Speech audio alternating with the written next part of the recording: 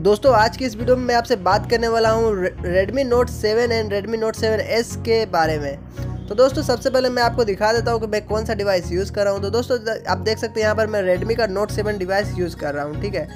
दोस्तों, यहाँ पर Redmi Note 7 डिवाइस के बारे में आज की इस वीडियो में आपसे बात करने वाला हूँ कि न्यू रिसेंट मेन्यू जो है Redmi Note 7 में किस तरह से आप इनेबल कर सकते हैं, बहुत ही आसानी से।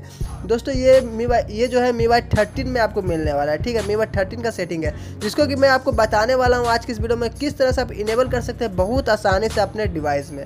तो उसके लिए दोस्तों, इस चैनल को ज़रूर ज़रूर सब्सक्राइब कर लीजिए साथ साथ बेल आइकन को क्लिक करके रख लीजिए, क्योंकि इस चैनल में आपको हमेशा हमेशा इसी टाइप की वीडियो देखने को मिलती रहती है।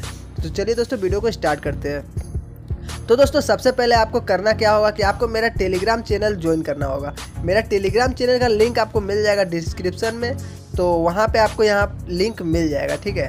क्योंकि दोस्तों, यहाँ पर लिंक वर्क नहीं करता है डिस्क्रिप्शन में बहुत बार वर्क सही से नहीं करता है तो इसीलिए मैं आपको टेलीग्राम चैनल में का लिंक दे दे रहा हूँ, वहाँ से आप कर सकते हैं, ठीक है? तो ये दोस्तों, मेरा टेलीग्राम चैनल देख सकते हैं, आठ सौ बहत्तर सब्सक्राइबर है, और यहाँ पर दोस्तों, देख सकते हैं मी वाई अल्फ़ा लॉन्चर का यहाँ पर आपको लिंक मिल जाएगा, ठीक है? मतलब लिंक क्या मिलेगा आपको एपी के मिल जाएगा, ठीक है? तो इसको सबसे पहले आपको डाउनलोड कर लेना है छू के इसको जैसे ही आप डाउनलोड कर लेंगे नो एम का फ़ाइल है दोस्तों, इसको डाउनलोड करके सिंपली इंस्टॉल कर लेना है। आपको जैसे ही आप इसे इंस्टॉल करेंगे, आपको यहाँ पर मी के अल्फ़ा लॉन्चर आपका इंस्टॉल हो जाएगा। देख सकते हैं, मैंने यहाँ पर पहले स्क्रीनशॉट भी शेयर किया है। तो कुछ इस प्रकार का आपको यहाँ पर देखने को रिसेंट मेन्यू मिल जाएगा, ठीक है? उसके बाद दोस्तों, सिर्फ़ इसको इंस्टॉल करने से काम नहीं चलेगा। उसके बाद आपको यहाँ पर सेटिंग में जाना होगा। यहाँ पर होम स्क्रीन पर आपको लॉन्ग प्रेस करके रखना होगा। उसके बाद सेटिंग में जाना होगा। उसके बाद मोर पे क्लिक करना होगा। उसके बाद दोस्तों आप यहाँ पर मोर पे जैसे ही क्लिक करेंगे, यहाँ पर अरेविंग आइटम्स इन रिसेंट्स इसका ऑप्शन आ जाएगा, ठीक है? उसके बाद पहले आपका ये वाला सेट होगा, ठीक है? तो उसके बाद आपका इस तरह से आता होगा। उसके बाद दोस्तों इसको आपको इस पर सेट कर देना है। जैसे ही सेट करेंगे दोस्तों, आप यहाँ पर देख सकते हैं कुछ इस प्रकार का आपको यहाँ पर इनेबल हो जाएगा, ठीक है?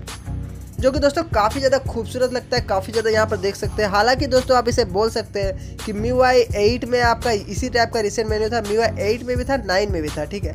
टेन में कुछ शायद नया वो रिसेंट मेन्यू टेन में आया था, ठीक है? तो आप इसे एक तरह से बोल सकते हो कि मी वाई पुराना वाला रिसेंट मेन्यू इसे वापस ला दिया गया है।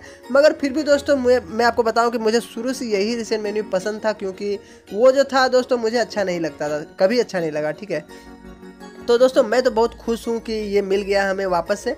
तो आपको कैसा लगा बताइएगा ज़रूर नीचे कमेंट करके और वीडियो में कुछ भी पसंद आया हो तो लाइक कर दीजिए। चैनल पर नए हैं तो सब्सक्राइब कर लीजिए साथ साथ बेल आइकन को क्लिक करके रख लीजिए, क्योंकि इस चैनल में हमेशा इसी टाइप के tips and tricks and update से रिलेटेड वीडियो हमेशा देखने को मिलती रहती है।